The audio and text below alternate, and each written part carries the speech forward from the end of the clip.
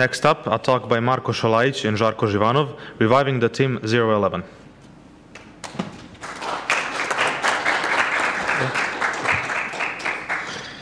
Hello, everyone. I hope that you know why you are here because this uh, talk is about very, very old hardware that is not used for, I don't know, probably 40, 30 or 40 years. Anyhow, uh, this is about the work that uh, Marko and me did for the last five, six years, on and off working uh, on one of the remaining uh, TIM uh, 011 machines. So, uh, we will start with a short history. Uh, the machine is made uh, around uh, 86, 87 by a team led by Nenad Dunic, and two more people were included, Milan Tadic and Ljubisha Gavrilovic. Uh, somewhere uh, around uh, 87, that project was picked up by Institute Mihailo Pupin from Belgrade, and they decided to mass produce the machine for the schools.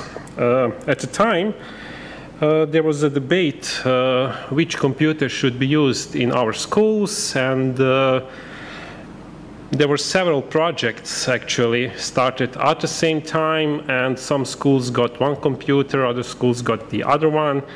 Uh, a lot of belgrade schools got this one here um, and uh, because all of those computers were incompatible between them it was well, quite hard to uh, actually make the books about for students to, to learn the programming. Uh, but anyhow, uh, in 87, this machine won the gold plaque at the fair Uchila 87, or let's say Learning Materials 87. And uh, the next year, uh, machine actually went into schools and was started to be used, mostly in Belgrade, but some of the uh, machines ended up all over the Serbia. But uh, as I said, mostly Belgrade. Around uh, uh, 12,000, um, 1,200 units were produced, and most of them were uh, for the schools. I don't know if we had uh, actually uh, any way to buy to buy them if you are not a school. Uh, at the time, many uh, magazines, computer magazines from Yugoslavia wrote text about this machine, praising it, praising its capabilities, praising its price, and uh, how it could compete with the XT machines that were starting to become popular. But uh, as everything uh, that was compete competing with uh, PC compatibles somewhere around beginning of the 90s, PC compatibles, so, as you probably know or do not know, actually took over everything and all other systems, all other architectures were practically thrown away. That includes, and uh, remaining machines of this type, and uh, mostly they were either thrown away or disassembled for the parts. Um, I'm not sure how many of the machines survived until this day. I am personally aware of about six or seven of them. Um, I don't think that there is more than a 50, 60 of them now alive. And uh, that is not the worst case re regarding the preserving of history of computing. The worst case is with the software written for this machine because none of it survived. Uh, the only thing that survived was just one copy of a system floppy disk uh, that was uh, significantly altered from the system disk that came originally with machine. And that is all that we have uh, today.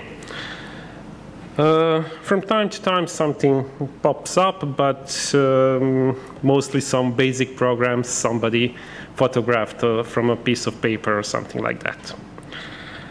Uh, so what's inside the machine? it's based around the Hitachi's uh, HD64180 processor. It has 256 Ks of RAM. Uh, video output supports four shades of green, that includes black. And uh, it's running a version of CP/M operating system. Uh, actually, some the magazines that I mentioned uh, had the uh, series of articles about building this machine by yourself.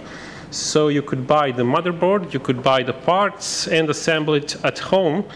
Uh, of course, the case wasn't part of that, and the keyboard uh, you could use another one, but uh, about those details we will talk later. Uh, so what's that HD64 whatever processor? It is actually a Z80 based embedded microprocessor. Uh, it has Z80 core with added peripherals. So it has a MMU unit, it has DMA, timers, and so on. But mostly uh, it is Z80 with uh, also some instructions added. For example, it had uh, instructions for multiplying, which was used in several places in the OS for the machine itself. Uh, Hitachi later licensed that uh, CPU back to Zilog, and uh, Zilog first uh, produced uh, their variant, which was more or less exact copy, only with Z uh, in the name. And then with some enhancements, they made the Zilog Z180, and that was maybe something you heard of if, if you know what Z80 actually is. Uh, for the rest of the hardware, keyboard is actually keyboard with serial communication. So it uses, uh, it has its own CPU and EPROM and program that runs and uses serial communication to send data to the motherboard itself. Uh, machine has floppy drive and the floppy controller based on chips that were available at the time. It has serial parallel ports at the back and the power supply that generates 5 plus 12 and minus 12 voltages. Uh, for the uh, video output, I will give the word to Marko because he was the one who worked most of the details. Marko. Thank you. Uh, the, if you take a look at the, the monitor, you will see only text. And uh, mostly it was text-based, but uh, the display has full resolution of 512 by 256 pixels with two bits of uh, two bits per pixel, uh, and the video memory is uh, inside the CPU's uh, input output output space, and it's based from 8,000 hex. The text mode, which is 80 by 24 characters, is actually all realized in software. So software is generating this text. The monitor is a classic 12-inch green monitor. It's fixed to the case, you cannot move it. But uh, if uh, some service is required, uh, the motherboard can be pulled out. So there are four screws on the back. And you pull out the front part of the computer with, where everything is actually fixed to the chassis. Uh, regarding the graphics we will talk about later, but uh, the machine is fully capable of uh, slow but four color graphics. Okay. As for the software, uh, 250K of RAM is used as 60K uh, RAM for the processor, processor itself, and the rest of the memory is used as RAM disk. So uh, you could copy program to RAM disk and run it much faster than you would do from the floppy. Uh, user programs were not actually limited to those for, 64K uh, of RAM, but uh, you could call uh, some system function and reserve some part of that uh, RAM disk for yourself and use it uh, as uh, any way you want, but you needed to be aware of the memory management unit and need, you needed to handle it yourself.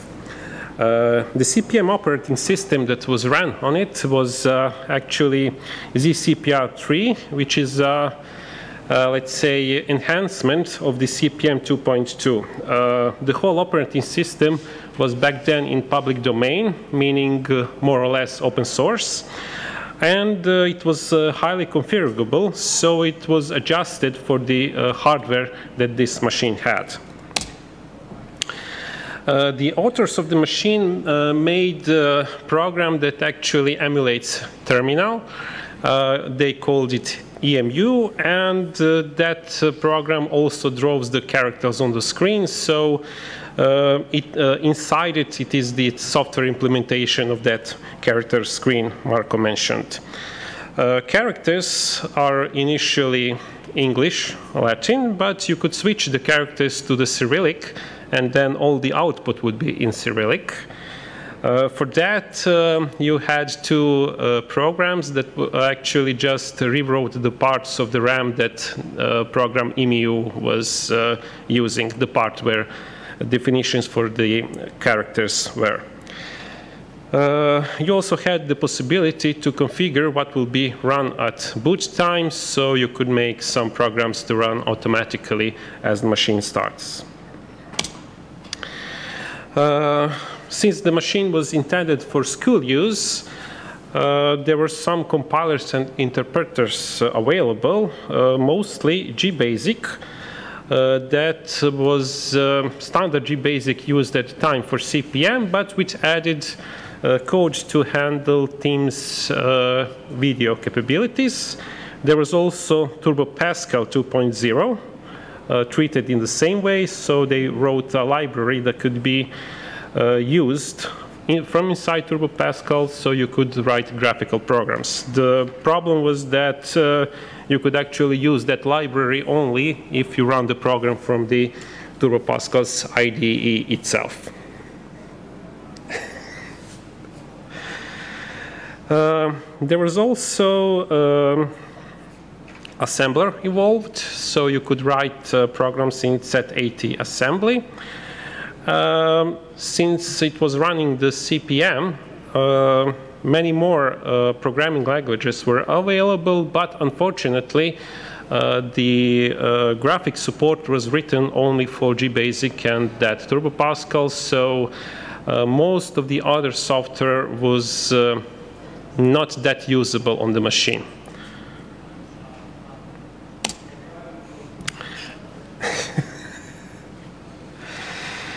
So, uh, that is the short history about what happened uh, in the past. Uh, so up until two years ago, there was uh, no emulator for these machines, uh, meaning that anyone who wanted to try out even that one floppy that remained could do it only if it, he had or she had the hardware itself. So if he had the machine itself to run the software on it.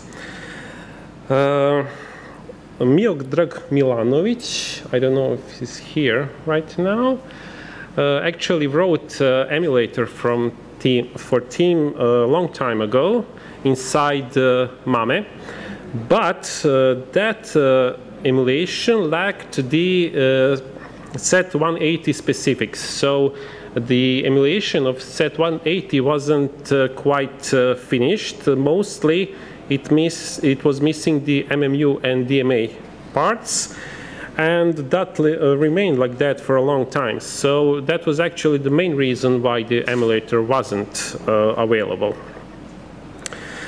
Uh, all of that, of course, means that even those who want to tinker something with that software could either uh, hexanalyze uh, floppy image or find someone who actually has the machine and to, try something out.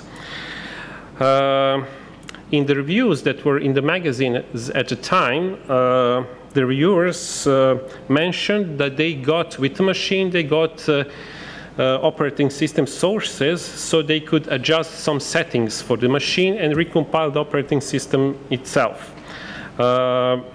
The problem is that all those disks were also lost. Uh, I mean, we have the uh, operating system, the main version, but we do not have configuration files that were used for the TIM, and we do not have source for the custom software that was written.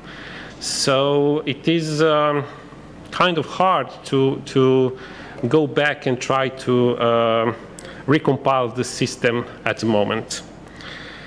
Uh, as I said, from time to time, uh, someone uh, posts on some forum, hey, I found my software from from TIM from my high school days. Here's the photograph of the source that I printed out, and uh, those are mostly basic or Pascal programs, but uh, anything uh, more serious is lost.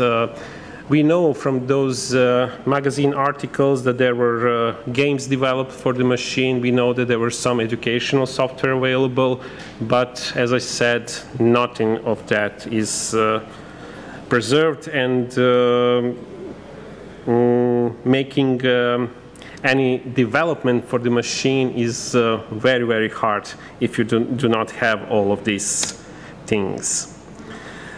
Uh, during uh, period from 2013 to 2018, uh, various people on uh, some retro forum from uh, Serbia, benchmark.rs, uh, tried to document the hardware of the machine, mostly a few of the guys that actually had the machine and uh, uh, were able to analyze what's inside.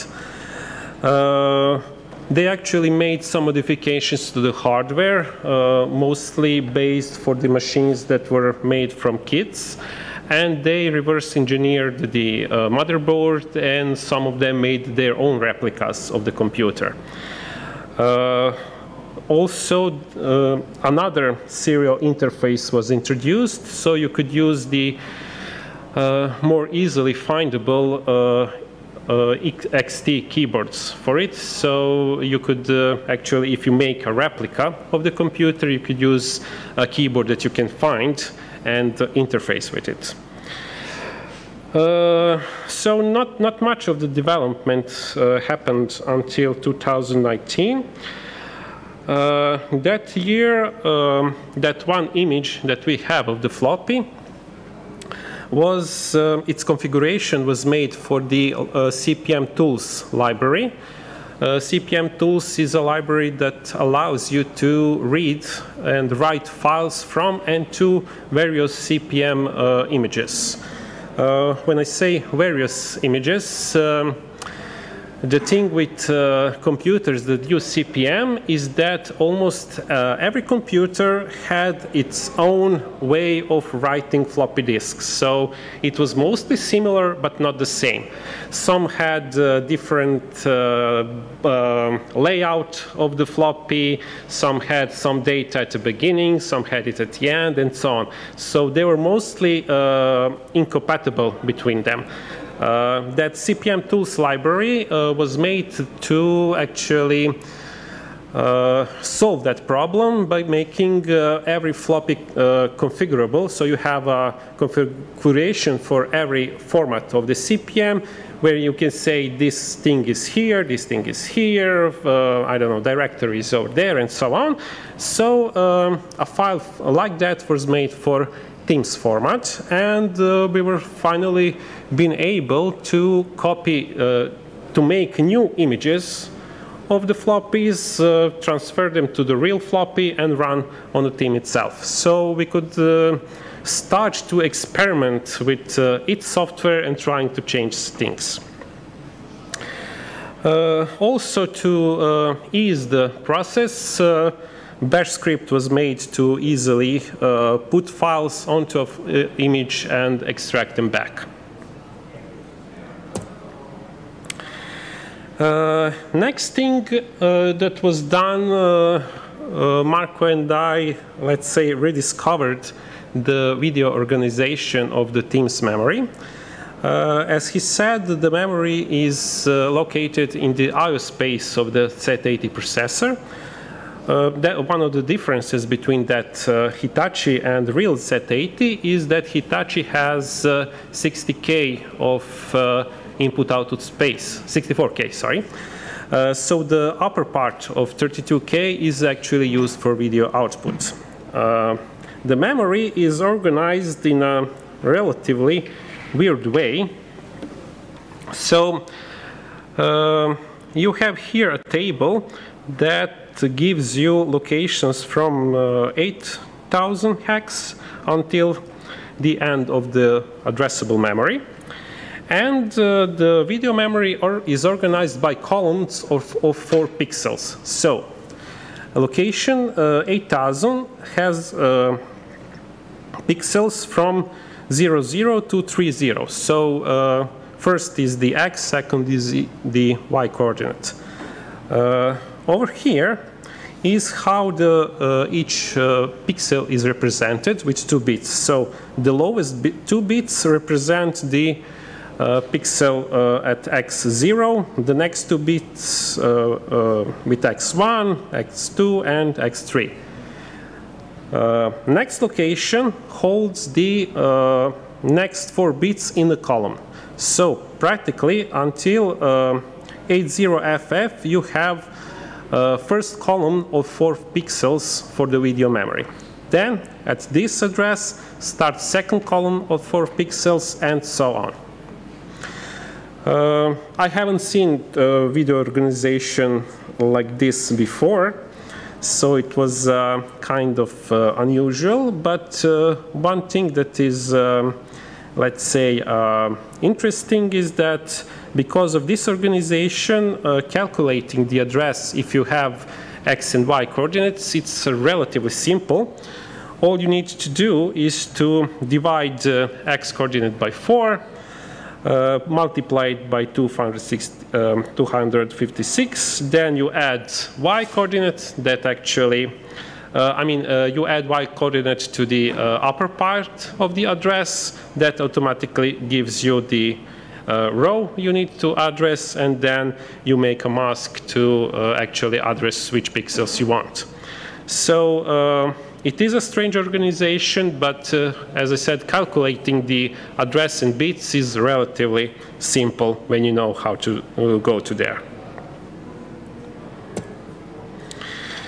Next, uh, as I mentioned, TIM on its uh, system disk had two programs, one to set uh, Latin font and one to set Cyrillic font.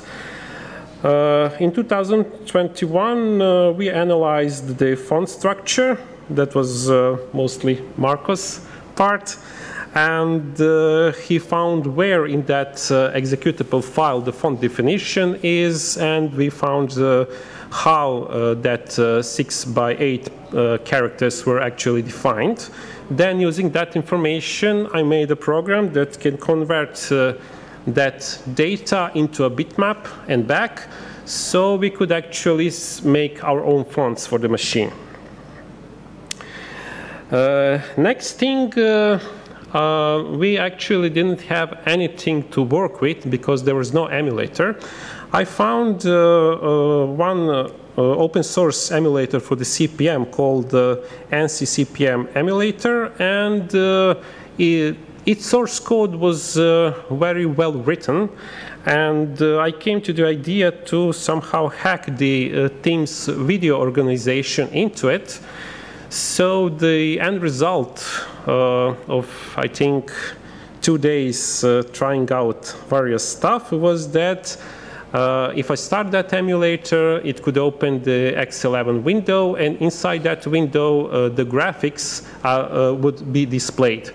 Um, actually, what I did was just to intercept reads and writes to the IO space inside the emulator and interpret those writes as write to a buffer, and then I display the buffer inside uh, separate windows. So uh, that allowed me at least to try out uh, addressing the pixels on the TIM itself. So uh, that was not a real emulator. Uh, the original NCCPM emulator actually emulates just the processor and the operating system, and it runs at the speed that your host machine runs. So uh, it runs uh, very, very fast compar comparing to the actual machines at the time. So I had to put some empirically uh, decided poses inside the drawing itself to get something like drawing speed of the real TIM. But as I said, uh, only the screen was emulated and it's not the, the real emulator. Uh, next, uh, we found out uh, Mike's enhanced small C compiler. That is actually a C compiler for the CP/M operating system. And we find out that uh, using this compiler, we could compile C programs that could actually run on the real TIM. Uh, how is compile used? Well, you run NCCPM emulator. Inside that emulator, you run the compiler and get the binary files out. So uh, because uh, the original emulator is actually a, a CLI program from command prompt, uh, everything could be written into scripts and automated. So you could write some uh, make-like uh, file to actually compile the source uh, code into binary file, assemble it into floppy image, transfer that image to the emulator and try it out. Uh, since uh, we got that uh, video uh, emulation working, then I was able to actually start to try out some graphical routines for it. Uh, first thing that one of the first things I did was trying to uh, display some tiles on its screen and made a script that could convert PNG images into uh, array data that was included into C programs and uh, used to directly write that data into video memory. So I was uh, actually, after uh, some experimentation, able to draw uh, various uh, characters from the games that I found online and were able to, for example, draw Pac-Man and uh, Dizzy and so on. Uh, next thing was trying out to plot lines, pixels, individual pixels and lines. Uh, that compiler that I mentioned had uh, already implemented the graphic library for another uh, computer, CP/M computer made by Amstrad, Amstrad PCV, and uh, it had a graphical library that could, that could drive lines. Uh, I tried that uh, library written in C, uh, compiled it to TIM, and actually got the lines drawn. But the problem was that it was very, very slow. Uh, then I decided to do something that uh, I really didn't want to do, and that is to try to write that pixel and line drawing routines in the Z80 assembly. Uh, I'm from the Commodore 64 background and uh, used a lot of uh, 6502 assembly and I still write it today as something fun that I like to do. And uh, I never actually wrote any Z80 assembly, nor I don't think I ever seen one. So uh, I found some online sources and started to learn it and started to program that uh, routines. And I must say it was a relatively painful experience for me. Uh, let's say I do not, do not like Z80 assembly that much, but uh, I managed to make uh, code that is, uh, I don't know, four or five times faster than what was written uh, com from compiled C, and uh, I, I, I, was very satisfied with that. Um, the routines uh, that were initially made for drawing those um, tiles I also made in assembly. I get, got uh, pretty good speed out of them too. So uh, although uh, writing to IOSpace with Z80 isn't uh, very fast, uh, using the, these methods, we were able to actually make some animations on the TIM screen. So there was, um, I mean, it, it was fast enough. I actually tried to engage some of the Spectrum people that uh, programmed Z80 much more than me to try to optimize the code, but so far there was no interest in that. So uh, that's my self-taught Z80 code is uh, currently the faster there is, and I'm really not a really good Z80 programmer. Uh, next thing, uh, as I said, uh, TIM uses uh, 6 by 8 pixel fonts to display its uh, characters.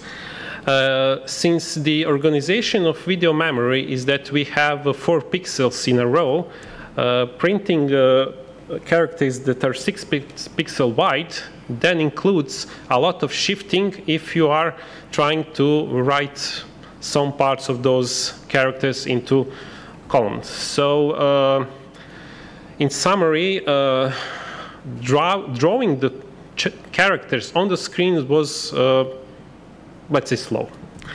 So uh, I came to the idea to uh, skip that shifting part and to use the 8 by 8 characters. So I will skip the shifting and it turned out that of course, writing characters that way was much, much faster. So that became Tim Print library that operates uh, with strings in similar fashion that uh, original routines do, but uses this 8x8 pixels and 8x8 fonts, and uh, drawing is uh, really, really fast.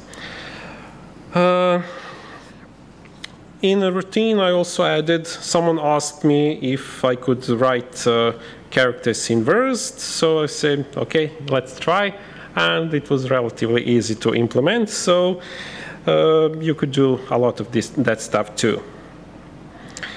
Uh, additionally, uh, because we found the archive online that has many ZX Spectrum fonts in PNG format, I also made a, a, program that would convert those PNGs into fonts that could be used with this library. So practically uh, we had a ton of fonts available from that moment on.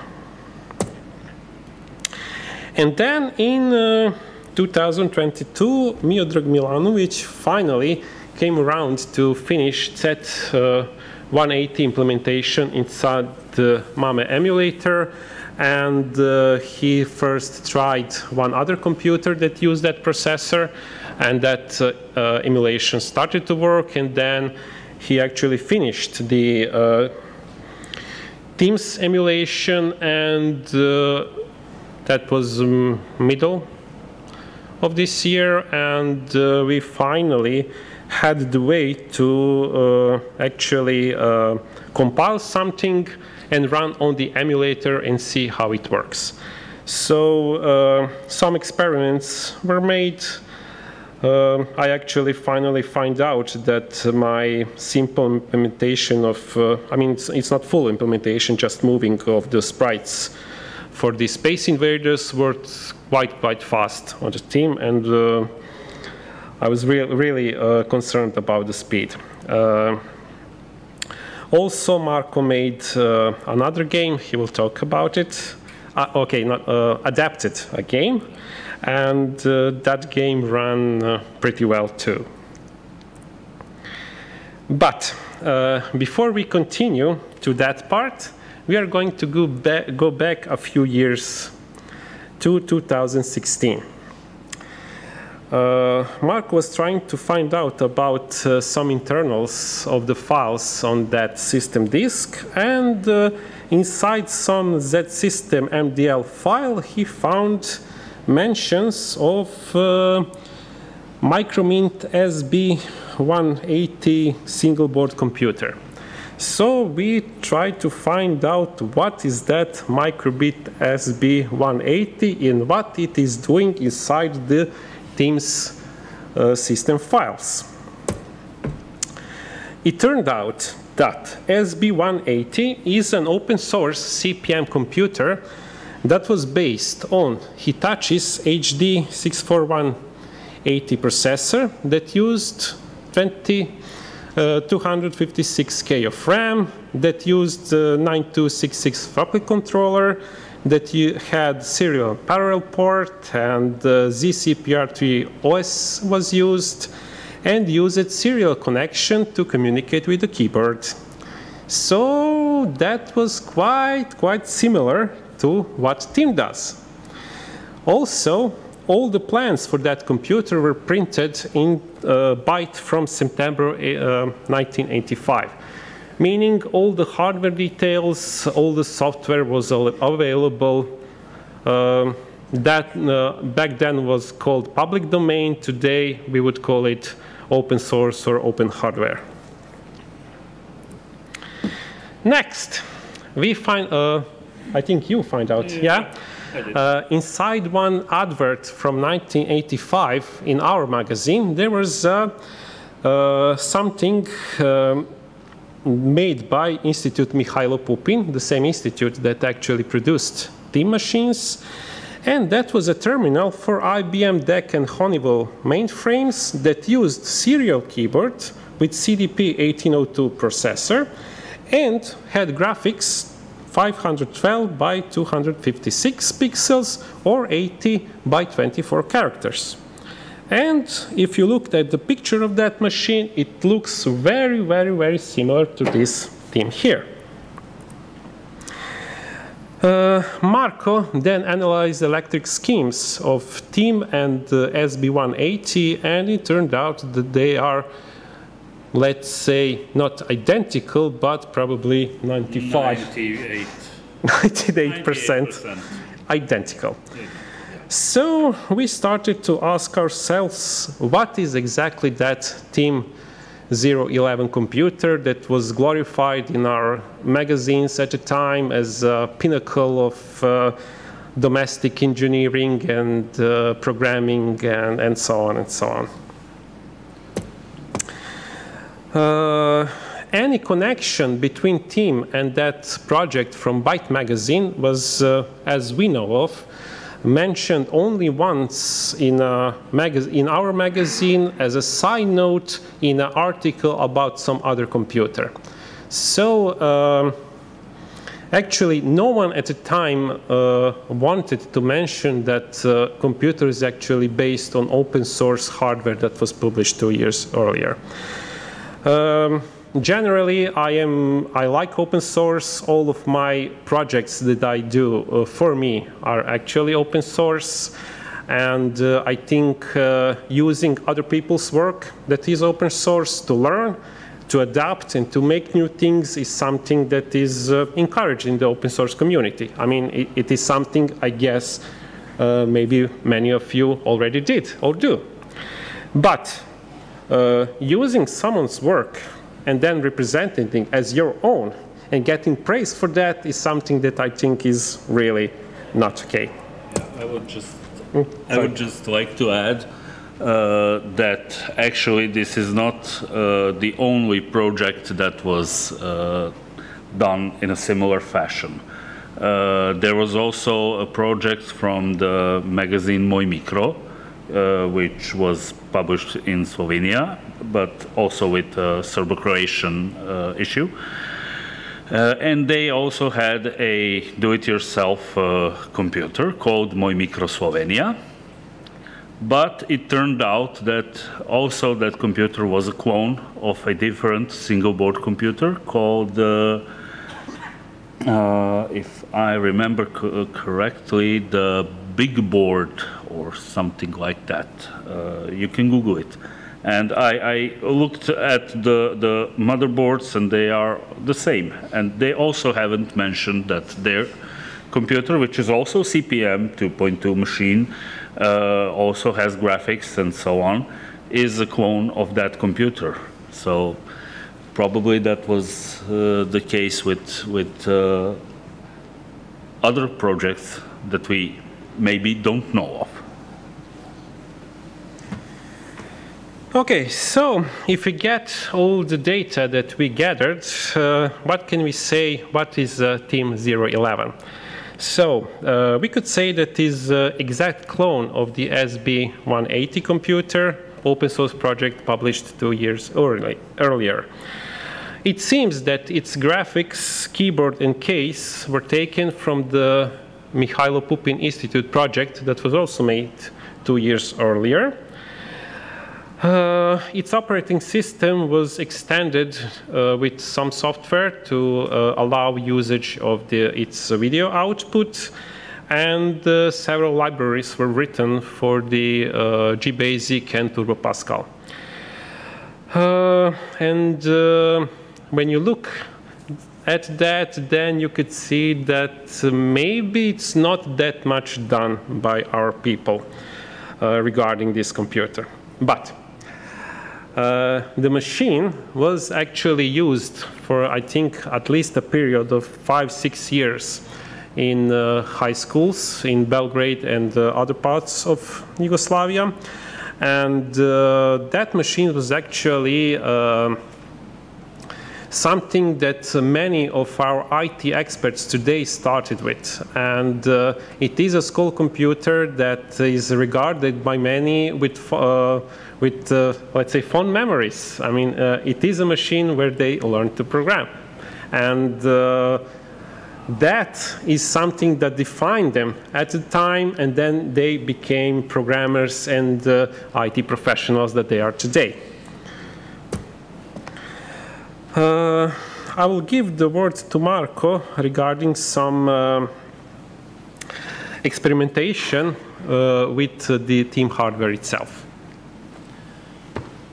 Okay, so since we didn't have the emulator, uh, we could only experiment on a real machine. Uh, I have actually, I got from Žarko a blank motherboard and I assembled uh, the computer from scratch.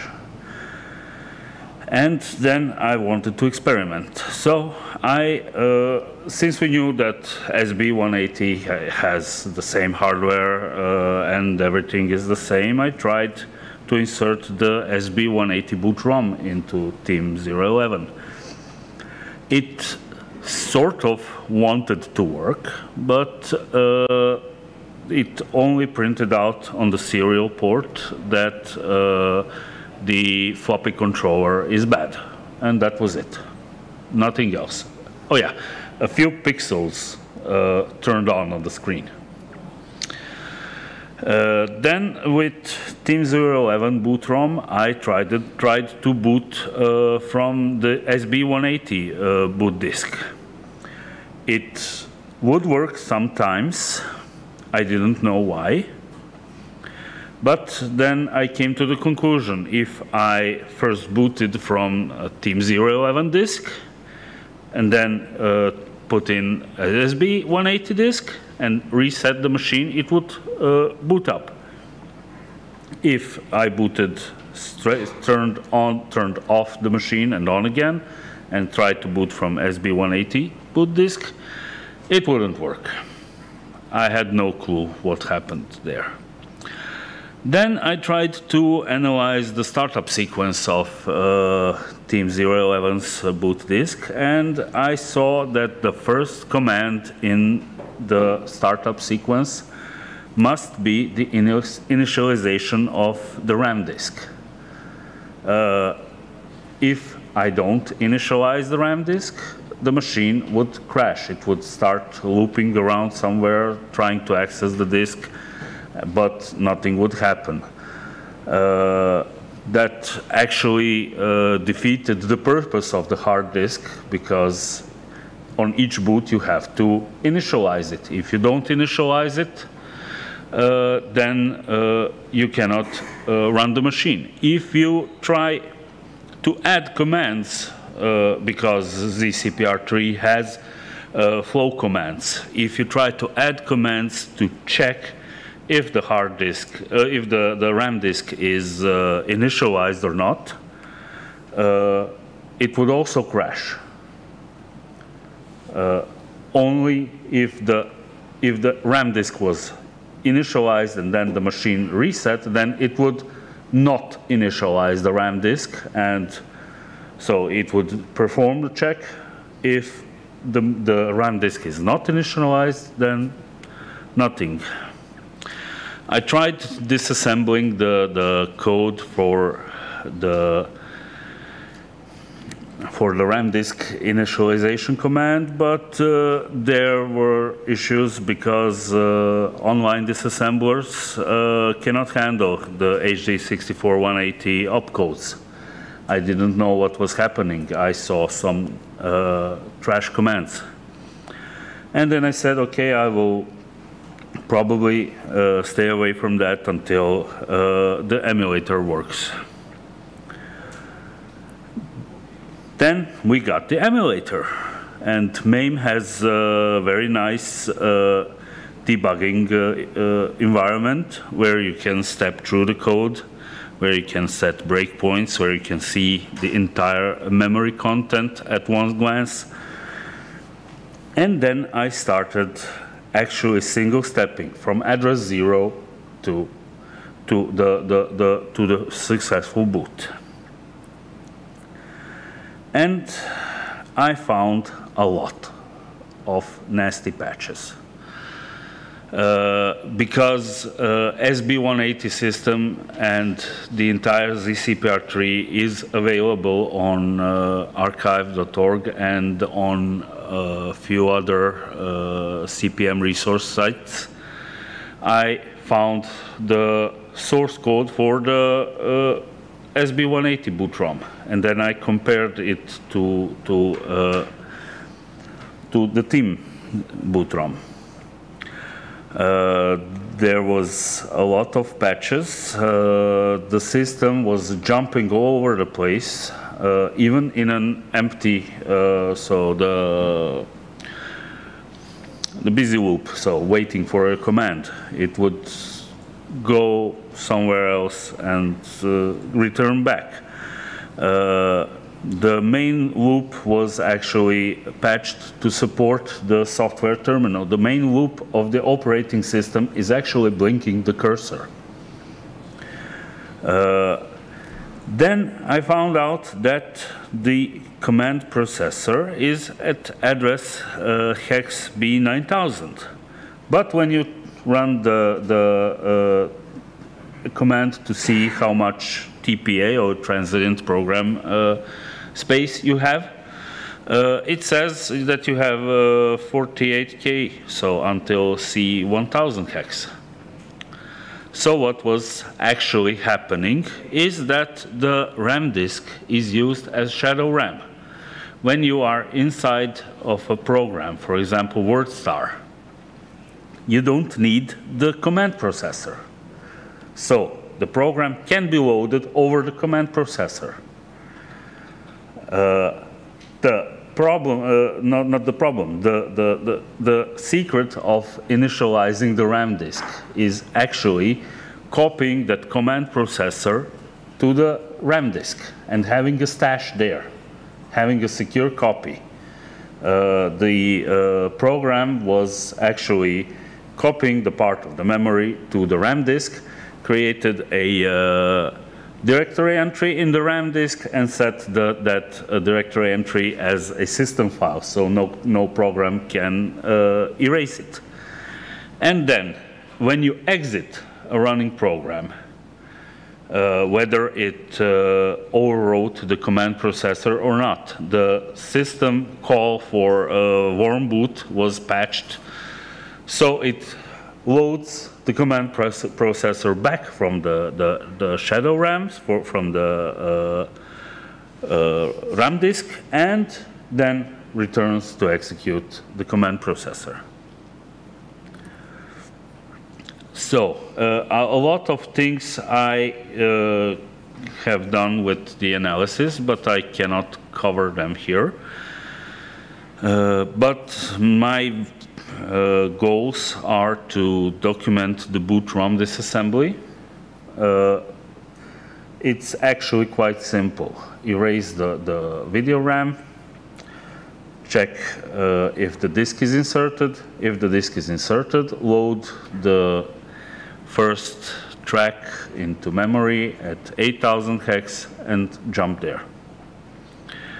Uh, second goal would be to make sense out of all the patches done, done to the operating system. Uh, I tried following the source code with the uh, disassembly. Uh, I found similarities, uh, but I found some stuff that's not, that still doesn't make any sense to me. And since the ZCPR3 source code is available, I would like to implement all of those uh, patches perhaps more sanely into the OS because the OS has uh, the OS has provisions to do that. It has files where you can uh, say how the terminal emulator is working, to say how, uh, how the input and outputs are handled and so on. And uh, I found that there is a banked portable BIOS for CP/M computers, which uh, uses the advantage of the MMU in, inside the processor. So my goal would be to adapt that to TIM 011 so we can actually gain uh, more uh, TPA space. We can run uh, larger programs on the machine because you are now limited to 48K. Uh, I found some programs which don't want to run, they, they ask for 56K. And of course, with Žarko's uh, graphics libraries and uh, emulator working and uh, that uh, Mike's small C compiler. I adapted the game, which was written by Miguel Garcia, uh, for the uh, Amstrad word processors, which also run CP/M. Uh, and I added the support for TIM 011 graphics and used extensively Žarko's libraries for both text, graphics, tiles, and everything else, and fonts. Uh, I will demo the game later here. And that is it. Yeah, uh, the game was written in Mike's Enhanced Small C compiler. And yeah, all the graphics assets were uh, converted with Žarko's tools.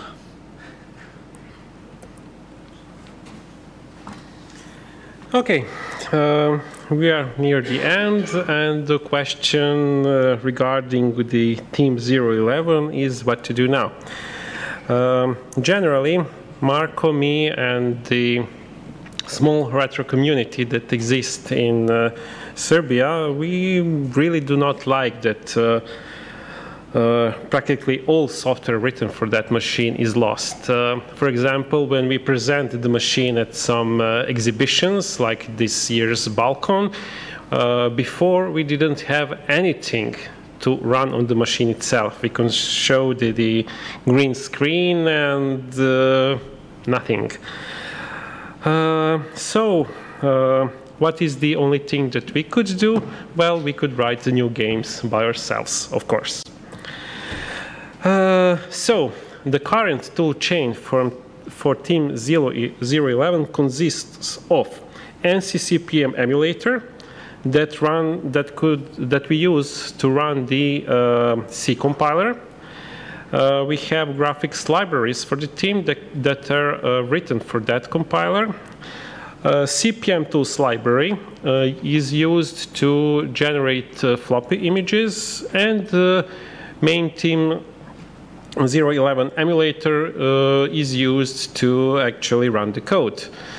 Uh, all of this is integrated again into a bash script that uh, does all of those steps for you. So you just run the script. The script then calls the uh, CP/M emulator compiles the program. If at any step there are some errors, it stops, of course. And then uh, generates the floppy image, then runs the emulator, then uses uh, uh, simulated key presses to temporarily uh, run emulator at full speed until the point where the game or whatever you're compiling is loaded, then slows the emulator to the 100% speed, and then you can test the code. Uh, all of this now takes less than five seconds on my machine, so I can make some changes to the code, run the script, and five seconds later I can see it running. So uh, in this uh, past few years, we came from uh, not having anything for the machine to having at least one tool chain to make new games programs or whatever. Um, uh, during my dabbling with retro computers, I found out about uh, uh, one IDE that uses kind of Pascal language to program a lot of retro computers. And uh, my current plan is to try to adapt all those libraries to that IDE. If I manage to do that, then uh, there will be a quite nice environment to actually write new software. But that is some future work.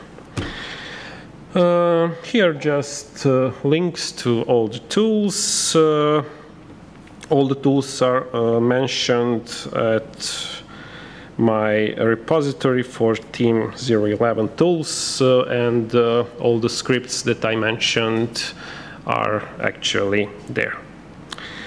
So that concludes this talk. Do you have any questions or do you just want some club mate to and go to the next one?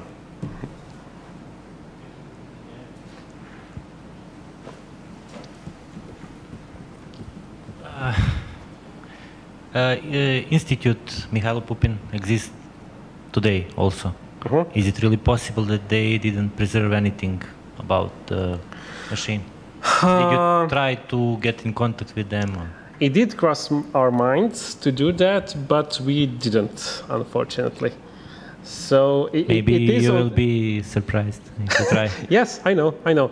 Uh, for example, um, a few years back, I contacted a guy who was working on the Pecom 32 and Pecom uh, 64 machines back in the 80s, and he was uh, quite helpful to explain me some details about those. So that is actually a very good proposition.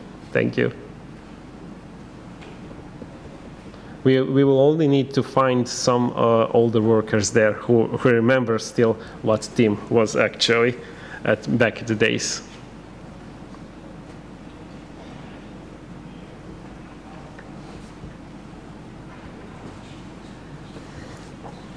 Uh, so what happened uh, with uh, TIM uh, 020?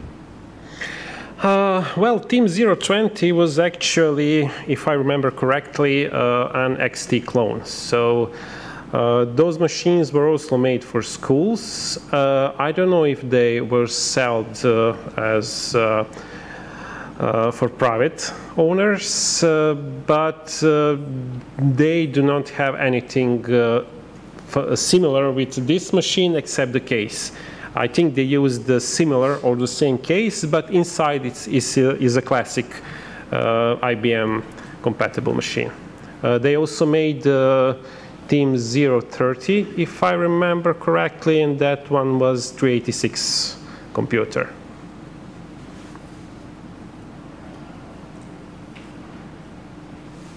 Any other questions?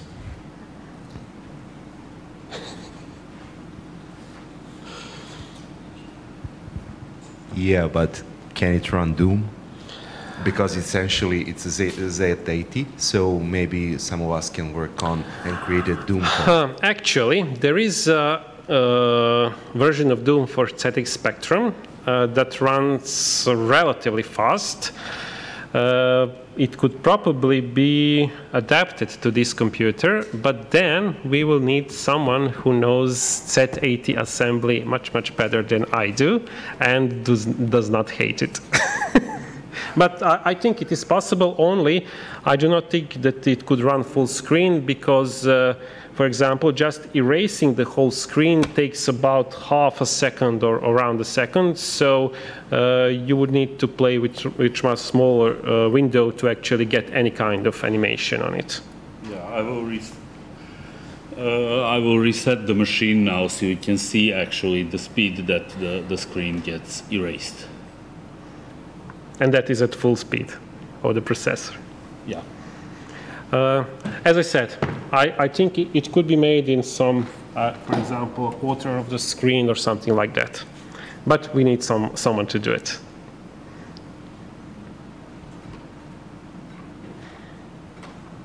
Okay. Then thank you very much for listening. I hope that you learned some um, interesting pieces of the Yugoslav computer history and uh, maybe at uh, next BalCCon we will be able to show you some new games for the machine, but I cannot promise anything. Thank you very much.